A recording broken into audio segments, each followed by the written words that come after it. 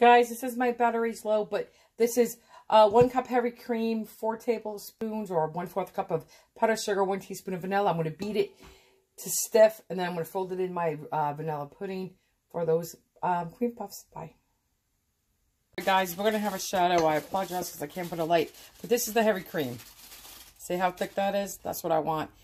Um, and we're going to put this inside our um, pudding I'll show you. Let me get to it. I'll be right back. All right, guys, here you go. You can see I put it in there. And guys, listen, when you're doing heavy cream, I know people tell you on TV, freeze the, chill the bowls, like put it in the freezer. Chill the bowls, use a metal bowl, chill your beaters, do this, do that. Listen to me. I don't chill anything. And yes, I do believe your heavy cream should be cold. However, I've done it before where I've sat there accidentally at room temperature. I beat it up just like today. It was at room temperature. No problem. Um, and we're just going to fold. And I'll show you what folding is. Um, the only thing you don't want to do is overbeat. If you overbeat this slightly, like this is perfect. Don't go any more than this because if you do, you will get butter. You will curdle it. Um, folding is, is when you take your um, spatula, go down in the middle, and fold.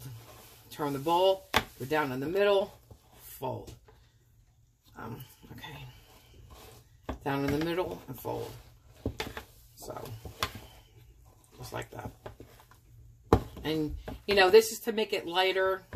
This is where you're going to get that custard filling. Um, and, you know, you don't have to go crazy and just make sure everything's all incorporated. It's okay to see streaks.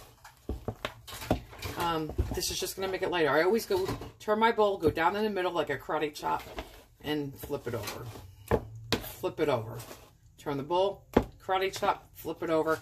Turn bowl, karate chop, flip it over. Turn bowl, karate chop, flip it over. Okay. And then you go on the outside of the bowl and you flip it.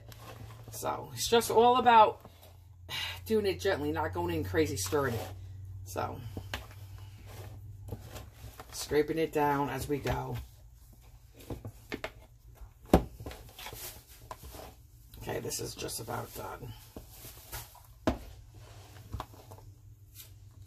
You can see how light and fluffy it made that pudding, right?